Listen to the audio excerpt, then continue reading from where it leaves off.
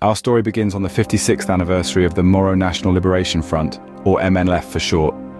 This day not only marked a significant milestone for the MNLF, but it also served as a commemoration of the Jabidah massacre, a tragedy that sparked activism among the Moro people. During this event, the Davao City State Revolutionary Committee of the MNLF expressed support for a rather unexpected figure, Pastor Apollo C. Quiboloy of the Kingdom of Jesus Christ. This announcement came amidst a sea of controversy, with the pastor facing numerous accusations. Ati. Emmanuel Fontanilla, a staunch defender of Pastor Quiboloy, criticized the use of the Senate for public trial. He argued that the pastor was being unfairly judged and that justice was not being served. In response, members of the MNLF pledged their support for Pastor Quiboloy.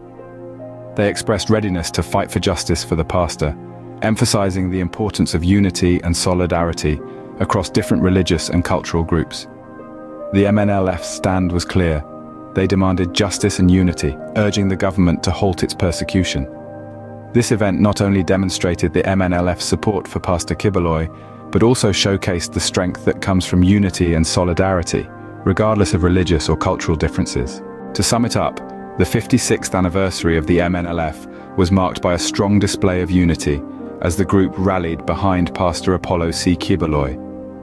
The group's call for justice and unity echoes loud and clear, underscoring the power of solidarity in our society. This event serves as a reminder that unity can be a powerful force, capable of crossing cultural and religious boundaries and fighting for justice. Times like these remind us of the importance of standing together, united in our shared beliefs and values.